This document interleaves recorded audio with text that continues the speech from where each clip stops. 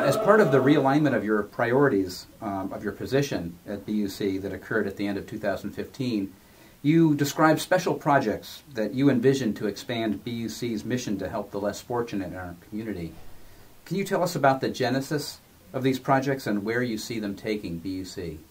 We've needed to put most of our energies for a couple of years now into the development of the building project. When any church undertakes a project of that magnitude, you got to funnel all the energy there. Uh, that's going to come to a conclusion, and I think it invites us to, uh, now that we've got our house in order, to look beyond our house to our neighbors and how we can be a good neighbor uh, and a supportive neighbor.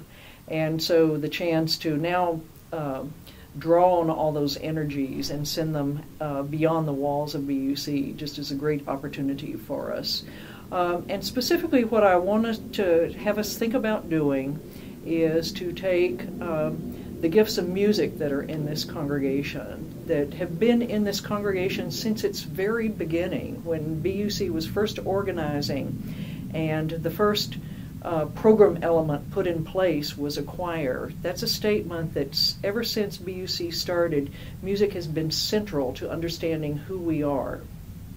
And so to take our the music gifts that are in this congregation in staff and volunteers and programming and let that be the driver of what we offer to uh, the community around us seems like it could open up an array of possibilities for our creative energies and ways to give to um, particularly uh, parts of our na- uh, parts of the neighbors uh, neighborhoods that have not had access to uh, music because just simply struggling to uh, get through the next day has needed to consume all of their energies.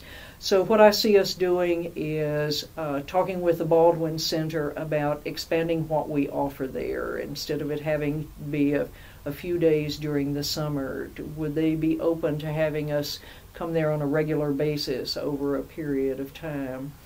Uh, to go beyond the Baldwin Center and either at WHRC or in partnership with another school uh, to bring some music programming there where funds have not allowed it to be possible.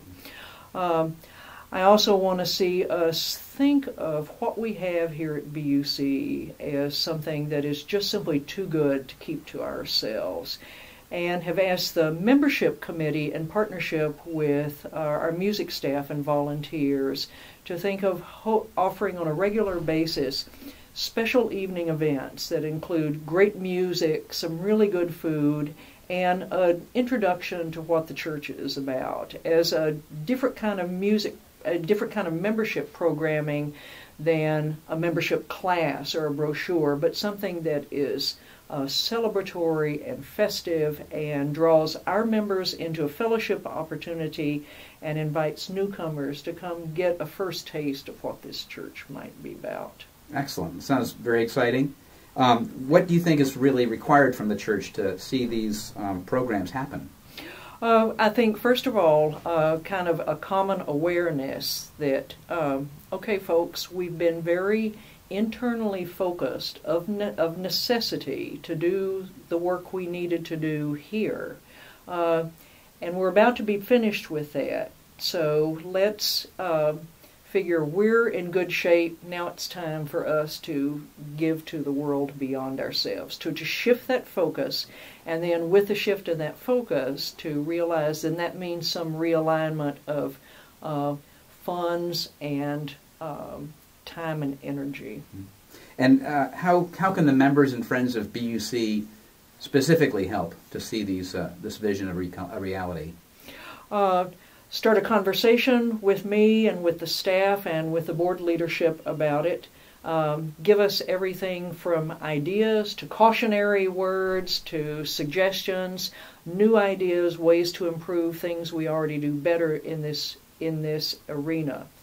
But words are great. Uh, time and talents and uh, resources are even better. And by resources, you mean? I mean actually those pocketbooks. Right. The uh, these new ventures. Uh, we want to do them well. We don't want to do them just slapdash because this is a church that prizes excellence. And so uh, just because this is being offered outside our walls doesn't mean something less than excellent would be acceptable.